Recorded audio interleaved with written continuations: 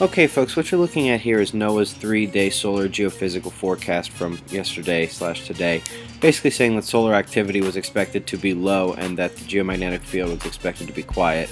Uh, almost no chance of an X-class flare. And uh, if you watched our video from earlier, we we disagree with that and we said that this was a candidate for X-class flares. You can go back and uh, see why.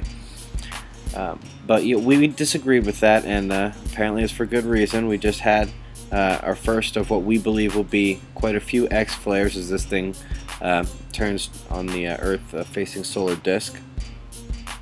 Happened at 2027 Universal Time.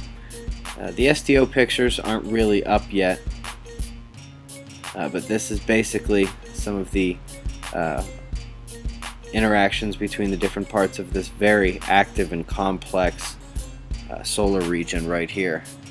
Now here's something very interesting and this is this should be a lesson to all of you who want to do this because a lot of people make mistakes. Now this is the SOHO.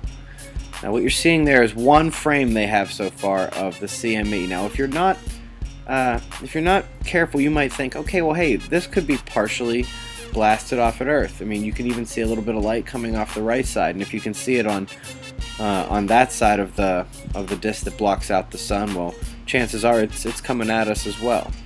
But this is a lesson where you need to use all the tools where they're available.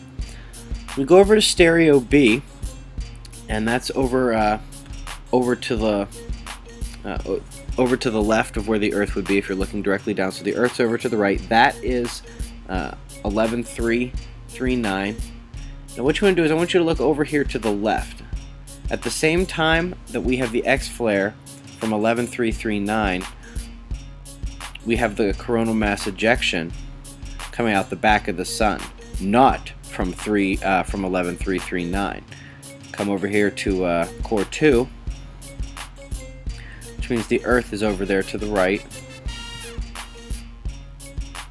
You can see blast off towards the back. Again, they only have just a few frames, folks.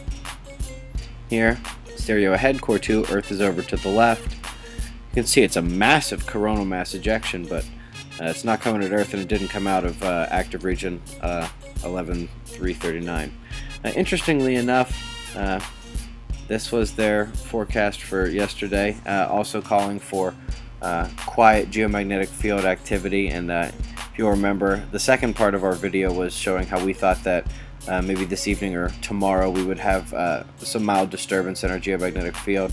And today, uh, in addition to their calling for moderate solar activity now, uh, backing, uh, backing off of their position yesterday, they're also calling for uh, there to be an unsettled geomagnetic field. So look out for that in the next couple hours and maybe the next day or so. But CME not coming to Earth, but definitely keep a watch on 11 339. More X flares to come probably. be safe, everyone.